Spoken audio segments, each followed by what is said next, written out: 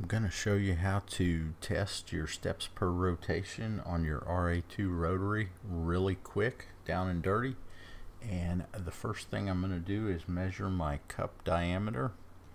And as you can see, it's roughly hovering around 88 millimeters. I could get super precise, but I'm just going to go with 88 millimeters here.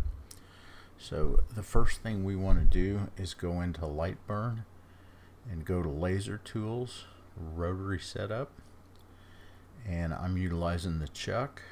I've enabled the rotary. Our constant millimeters per rotation is going to be 128 we're connected to the z-axis and I'm going to put 88 millimeters for my object diameter and that's going to automatically populate 276.460 millimeters. So let's go into Lightburn and draw a rectangle which I've already got made right here. And it is exactly 276.460 millimeters. I've made the box about two millimeters wide. You can make it as wide or as thin as you want to as long as it makes a complete circle back home. And we are set up here. Uh, our D1 Pro is connected so I'm going to hit the frame button.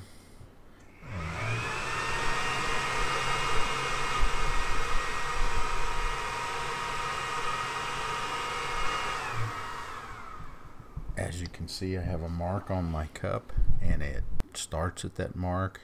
It makes one full rotation to that mark and then it comes back around and lands exactly on that mark.